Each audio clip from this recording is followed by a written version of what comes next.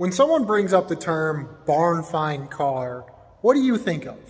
Because I feel like the average American probably thinks of like a low production Mopar or like first generation Mustang or some one off Camaro SS, um, something super low production of like 60, 70 years ago.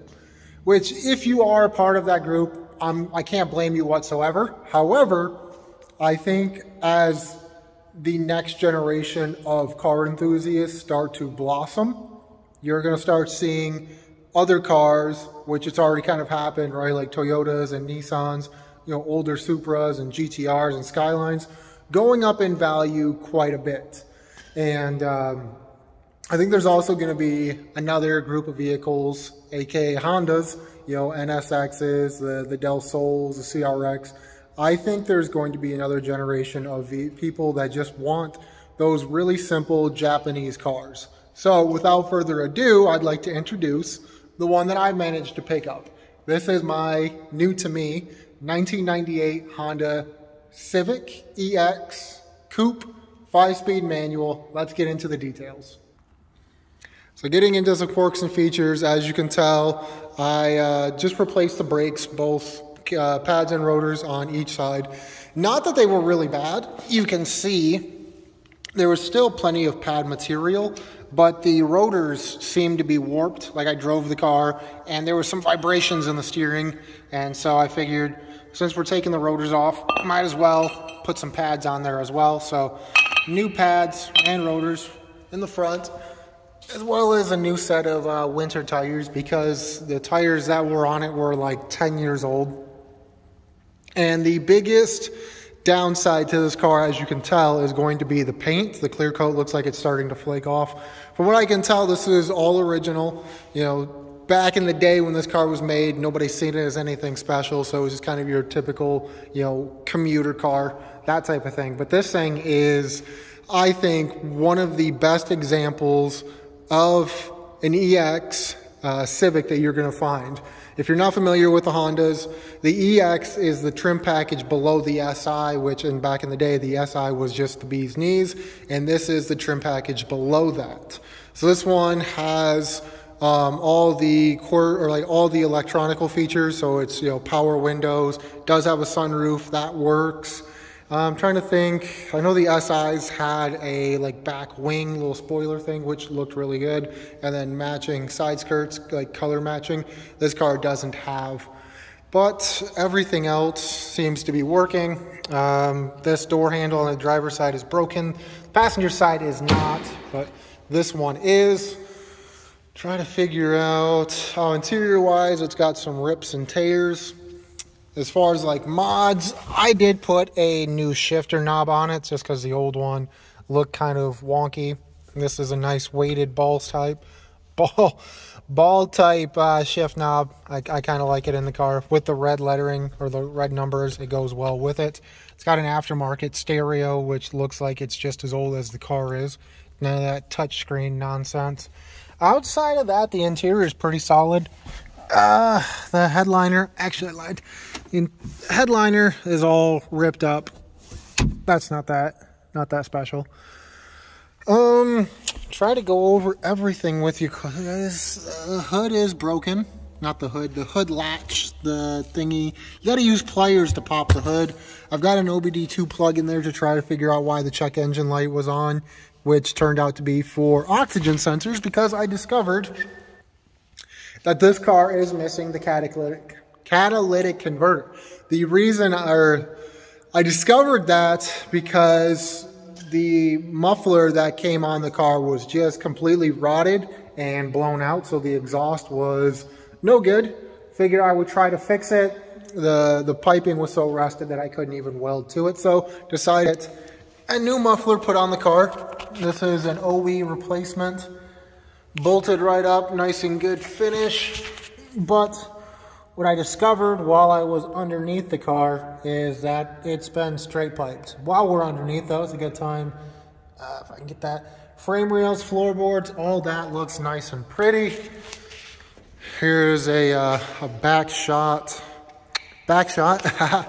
um, a shot from the passenger rear angle. You can see there's no rust on this car really anywhere, which is really, really rare in the Midwest Rust Belt. I feel like this car at one point probably came from down south. I just can't say for sure. I will show you guys the VIN number if anyone wants to pull up the VIN. Tell me if this car has been registered down south at all. There's, uh, there's your VIN number. If anyone wants to do a, uh, a Carfax on it, feel free to look that up. Let me know. The reason why I suspect that it was a Southern car is because one, it's so uh, rust free. Most of them are all rotted out. This one, not so much. But also the, the clear coat, it looks like, because it's kind of a Southern thing, a trend with Southern cars, that they, uh, they start to fall apart from the top down. And this one kind of seems to be the case. It's got some pretty nice window tint on there. Doesn't look like it's excessively dark. There's no discoloration or any bubbles or anything. So whoever did the window tint, I think did a really good job. Um, what else can we get into? Let's pop the hood and I'll show you another reason why I suspect this car being fairly rare or a, uh, a bit of a barn find. And that is because it is completely unmolested. This is how you pop the hood. That. Ah! Try not to pinch your fingers, because you will. There we go. But on this car, everything under the hood is all original. Ta-da! Not even a cold air intake on this, guys. That's unheard of. With a manual Civic from the 90s, the first thing everyone does is go on eBay and buy themselves a $20, $30 cold air intake. This one still has the original airbox. Uh, that battery is not factory, that I know. I didn't put it in, but previous owner must have. Uh, headlights have been replaced. Previous owner stated he did that. Um, try to figure out, rust-wise, super clean, but while we're looking at the front, there is some bubbling going on in the hood. And then the other area that I noticed has a bit of rust is up here at the top. So if somebody were to try to restore this car, I would imagine just clean up the rust on the hood, put a new windshield in it because you're probably going to break this pulling it out. It's not that the windshield is like cracked or broken, but there are a few little rock chips, small little sandblasts. And then I noticed down here at the bottom, the glass, like the two panels is starting to delaminate. That's what causes that.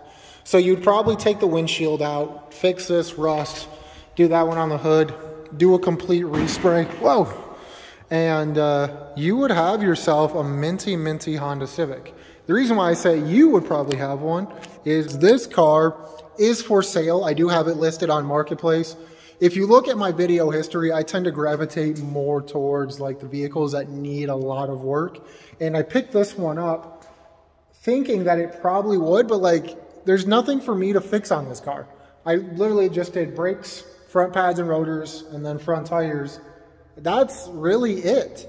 it like I feel like anything else I do to this car is probably going to be like butchering it up and turning it into the typic, you know, uh, typical ricer type Honda Civic, and I just don't want to do that. So I would rather sell this one to like a dedicated Honda enthusiast that's going to treat it right and do like a K swap or something cool to it. Maybe leave it alone. Maybe just leave it with the uh, the the the single cam engine and just preserve it and keep it going.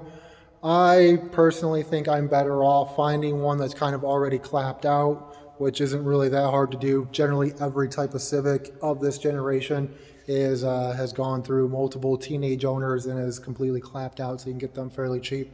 Uh, what do you guys think is a fair value for this car?